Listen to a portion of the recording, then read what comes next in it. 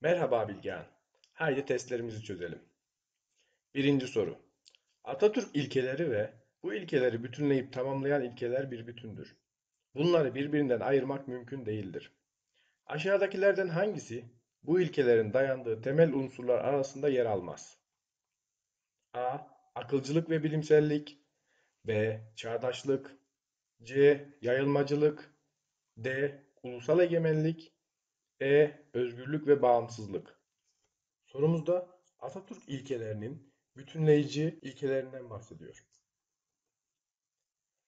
Akılcılık ve bilimsellik, laiklik ilkesinin bütünleyicisi, çağdaşlık, inkılapçılık ilkesinin bütünleyicisi, ulusal egemenlik, cumhuriyetçiliğin bütünleyicisi, özgürlük ve bağımsızlık, milliyetçilik ilkesinin bütünleyicisidir. Fakat yayılmacılık fikri Atatürk ilkelerinde yer almaz. Doğru cevabımız C şıkkı. İkinci soru. Cumhuriyet, halkın kendi iradesiyle seçtiği kişiler aracılığıyla kendisini yönetmesidir. Bu tanıma göre aşağıdakilerden hangisi cumhuriyetçiliğin özellikleri arasında yer almaz?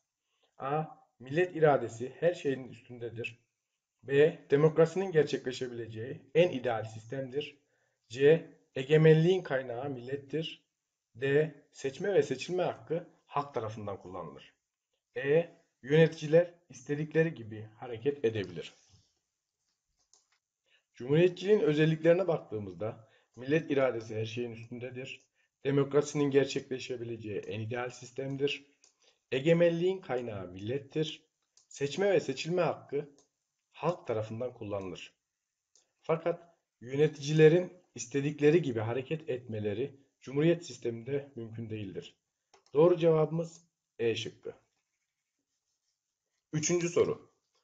Sürekli olarak çağdaşlaşmayı öngörmesi, eski kurumları yenilemesi, gelişme ve ilerlemeye açık olması, yukarıdaki özellikler Atatürk ilkelerinden hangisiyle ilgilidir? A. İnkılapçılık B. Milliyetçilik C. Halkçılık D. Devletçilik E. Laiklik Sürekli olarak çağdaşlaşmaya öngörmesi, eski kurumları yenilemesi, gelişme ve ilerlemeye açık olması Atatürk ilkelerinden inkılapçılığın özelliklerindendir. Doğru cevabımız A şıkkı.